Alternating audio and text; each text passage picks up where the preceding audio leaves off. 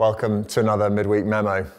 I've had COVID for the last couple of days, and I'm so pleased to be finally seeing a negative test, and I'm able to get back into the company of friends.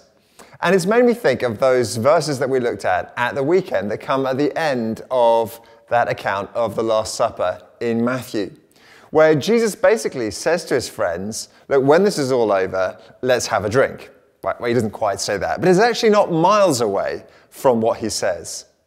He says, I tell you, I will not drink of this fruit of the vine from now on until I drink it anew with you in my Father's kingdom.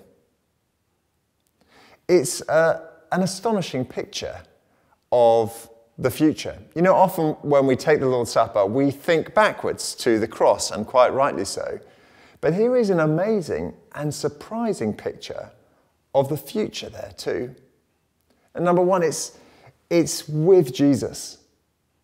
And secondly, it's in the company with Jesus. This sort of sense of feasting and celebration just across the table from Him. So, the next time you take the Lord's Supper, why don't you let it point you forward? You know, I think particularly at this time when so much is going on in our immediate here and now, we need to be pointed forward to the hope of that feast that time when we will sit with our Saviour and enjoy his company. A few notices to share with you. First of all, while we're on the subject of communion, uh, we've been taking communion in just one kind, just the bread, for some time now. And I know many of us are eager to be able to take both the bread and the wine. And we're thinking carefully at the moment the way that we can introduce that again in a way that is still safe. Secondly, um, we are going to be welcoming John and Claire Featherstone this Sunday in our morning service. John is coming to join us as our associate vicar, so do come and be there on Sunday uh, to welcome them and pray for them as they begin their ministry with us.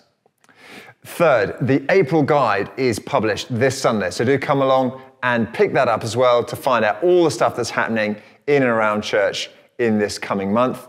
And finally, don't forget that this Sunday is a Sunday where the clocks go forward. This is the one where if you don't concentrate, you arrive for church late. So uh, do just make sure that your clock is saying the right thing on Sunday morning. And particularly if it's one of those automatic ones that's already made the right decision for you, don't get confused.